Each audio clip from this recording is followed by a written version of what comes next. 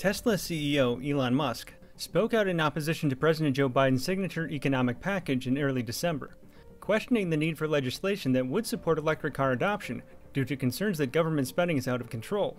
Elon Musk said he's against President Joe Biden's social and climate spending bill, pointing to his concerns about the insane federal deficit. Musk said recently during the Wall Street Journal's CEO Council Summit that he honestly prefers if the government would just pass this whole bill, saying that he recommends they won't pass the bill.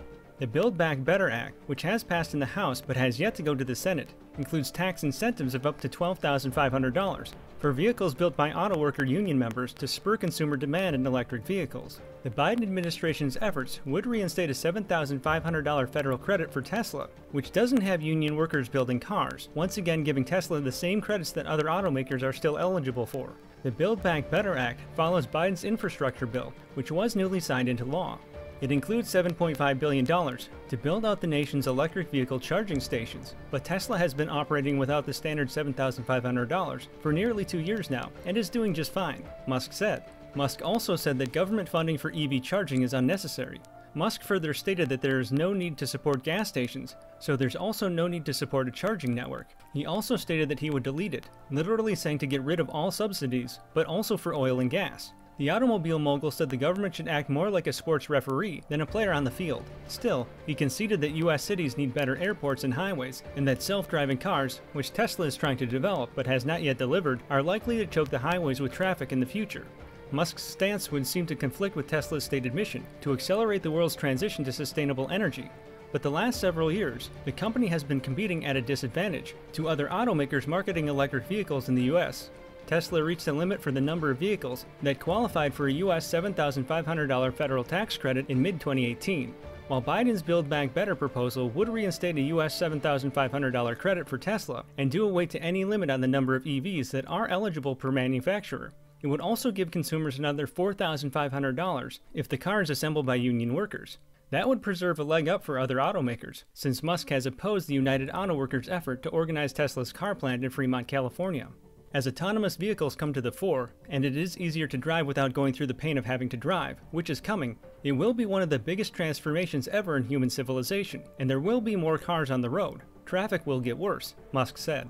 Musk's vision is to create a combination of double decker freeways and tunnels to make room for more free flowing traffic on the ground. One of Musk's startups, the Boring Company, builds tunnels, while Tesla provides electric cars that carry passengers through them. Speaking remotely from the factory Tesla has been building in Austin, Texas, Musk did acknowledge the US could have better airports and highways, and better address traffic congestion in cities. He called for building some combination of double decker freeways and tunnels. The latter suggestion would align with the mission of the Boring Company, the company he founded in 2016. Researchers have consistently observed induced demand that shows traffic intensifies and is not alleviated where new highway lanes are built. But Musk did not address this issue. Later in the discussion, Musk said that he is not an extreme libertarian against all government spending. He sees space and science programs, like sending a probe to Mars, as justified federal efforts. The value of that is a small amount of value for all citizens, but it would be inefficient to go and collect $10 from every citizen for a Mars probe. Therefore, it is better to have the government do something like a heavy science program, rather than try to collect a small amount of money from everyone, he said.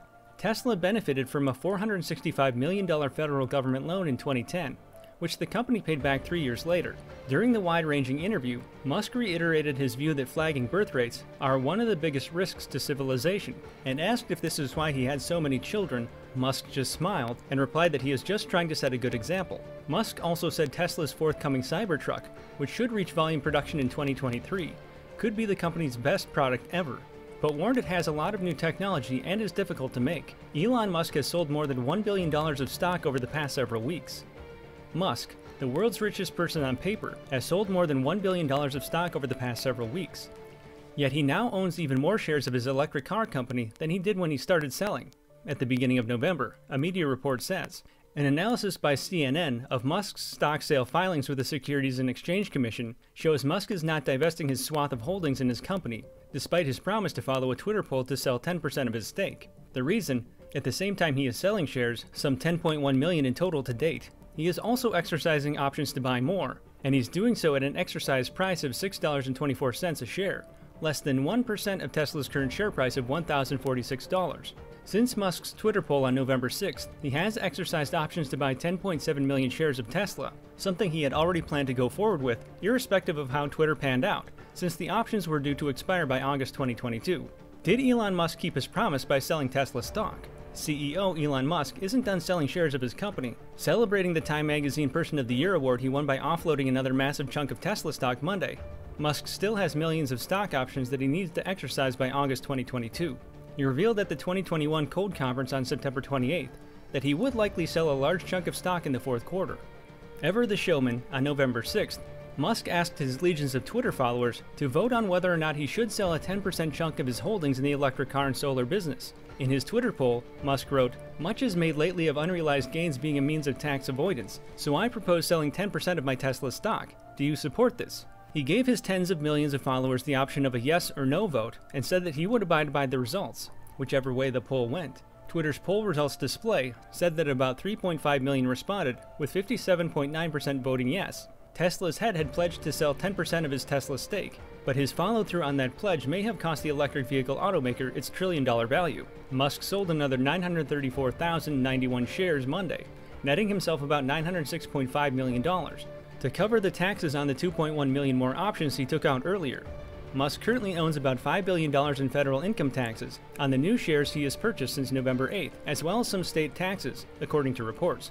Musk sold off Tesla stock specifically to cover that tax hit, according to the filings. Based on past activity, Musk will likely sell another 5.3 million of his newly acquired shares to cover his additional tax bill, though that will still leave him nearly 7 million more shares than he currently has. Musk has been vocal about his reasons for the stock sale, saying that pending tax increases on his unrealized capital gains is the reason he is cashing out. He has repeatedly gone after President Joe Biden for his policies, saying in September that Biden does not have the friendliest administration, after the White House did not invite Tesla to a carmaker summit. Besides Musk, Tesla execs including CFO Zachary Kirkhorn, Chief Accounting Officer Tanea Zebhav, and Senior Vice President of Powertrain and Energy Engineering Drew Baglino have also sold Tesla shares and exercised options in December. What do you think about these developments? Let us know what you think about them in the comment section below. Thanks.